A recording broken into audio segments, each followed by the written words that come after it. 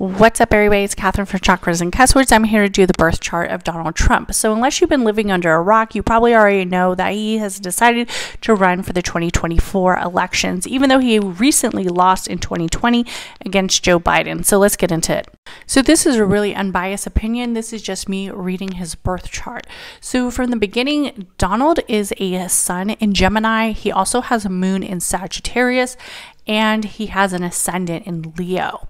Few things I want to point out about is that the uh, ascendant in Leo really shows his ability to show himself as a leader to many people. What also stands out to me about his chart is during the time of his birth, he was actually a full moon in Sagittarius.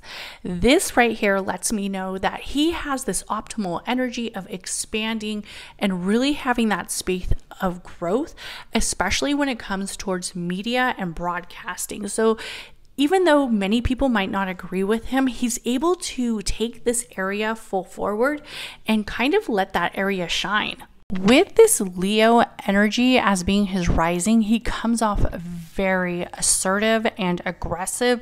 And also having that full moon, it's like he has an excessive solar plex, which can make him be very narcissistic. Also, as we see, the upper left hand quarter of his chart is basically empty. Another thing that stands out about this Leo energy of his, his leadership energy, is that it is centered in his 12th house, which actually starts with his Leo at one degree, and it contains his Mars and Pluto, which lets me know it's going to be a fight and it's really going to be this transformational state all through his life. A few other things that really stand out is that in his second house, which is the house of money, is ruled by Virgo, which lets me know he's very grounded when it comes to money, but he also contains his Jupiter, which is about growth. So money did come for him very easily and he was able to create a lot of success. So if you guys are asking me, do I see him as a knowledgeable businessman for his own personal gain, I would say yes.